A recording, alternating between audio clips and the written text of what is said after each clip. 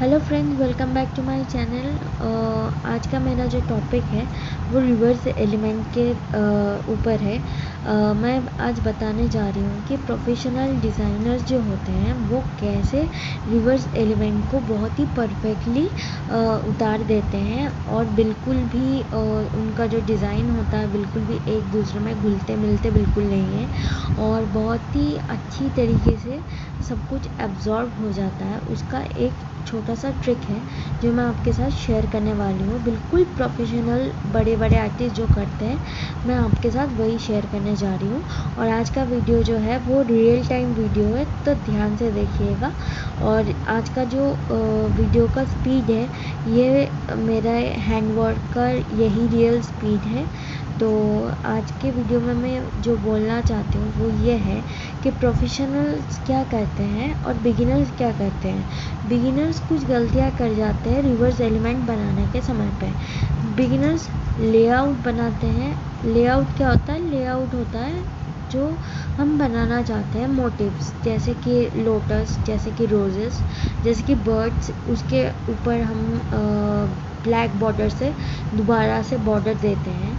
तो जो भी हम बनाना चाहते हैं, बिल्कुल बेकार हो जाता है क्योंकि जो डिज़ाइन होता है उसके अंदर मेहंदी घुस जाती है और डिज़ाइन और मेहंदी दोनों बिल्कुल हैपोजिट हो जाता है और हमको ना तो डिज़ाइन दिख पाता है ना ही आपका मोटिव दिख पाता। है तो ऐसा जो प्रोफेशनल्स के साथ बिल्कुल नहीं होता। उसका कारण ये है कि प्रोफेशनल्स क्या करते हैं, पहले लेआउट को ड्राइंग कर लेते हैं और उसको कम से कम सात से आठ मिनट के लिए वो लोग रेस्ट करा देते हैं, सुखा लेते हैं। तो सुखाने के बाद ही वो जो फिलअप होता है, वो करते हैं। इससे क्या होता है, आपका जो लेआउट होता है, वो सूखने की वजह से क्या होता है, वो बाउंड्रीज जो होती है, उसकी सूख जाती है और वो लिक्विड मेहंदी जो होती है, उसको अपने अंदर नहीं आने देता है एब्जॉर्ब नहीं करने देता है। और इसी की वजह से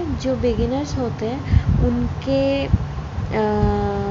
डिज़ाइंस थोड़े से अजीब हो जाते हैं, क्योंकि वो लेआउट बनाने के फ़ौर के फ़ौर बाद ही बिल्कुल फिलअप करना शुरू कर देते हैं, जिसकी वजह से जो मेहंदी होती है वो अधिकतर लिक्विड ही होती है और वो डिज़ाइन को इफ़ेक्ट कर जाती है।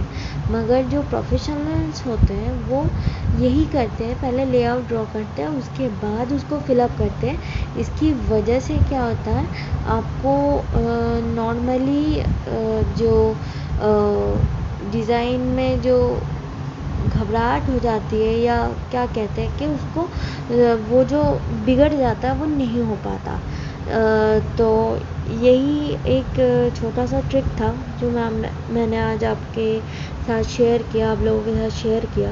ये ट्रिक आप लोग आजमाइए और मुझे बताइए कि आप लोगों को कैसा लगा और रिवर्स एलिमेंट आपका परफेक्ट आया या नहीं।